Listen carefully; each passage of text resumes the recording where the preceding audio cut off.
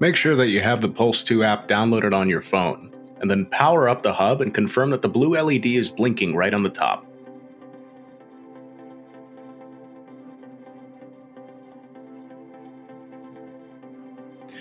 Check your Wi Fi connections and make sure that your mobile device is connected to the proper 2.4 GHz connection. In order to check that information, open up your Wi Fi settings on your phone and check the connections available. The 2.4 GHz network should be the priority connection. We always recommend you disable or forget any 5 GHz connections on our network.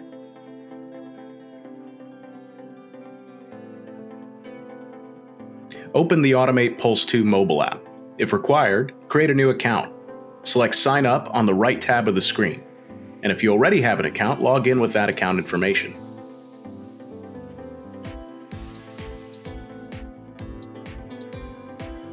Follow the Quick Start guide and select Yes.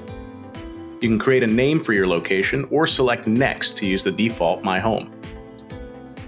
If it is needed, scroll up or down to select the correct time zone for the hub. And if you would like to use daylight savings, enable or disable it and then press Next. In order to allow the daylight savings time, select Yes to allow the Pulse 2 hub to access the device location while it's using the app.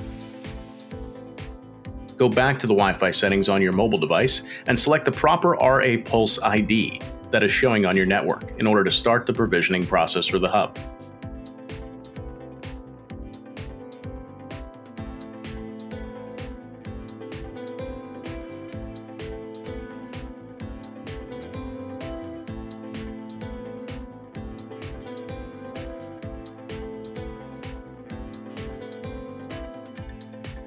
Enter the Wi-Fi credentials and then press Next, ensuring you're still on that 2.4 GHz connection.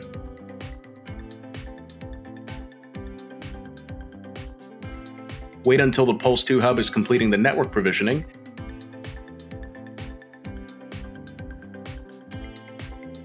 and then confirm the proper Wi-Fi network on the Pulse 2 app, and then press Next.